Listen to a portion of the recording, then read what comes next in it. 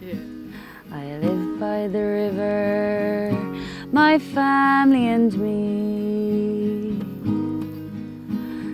Kept a few cattle and worked in the fields. Till one day bad news came from ESB.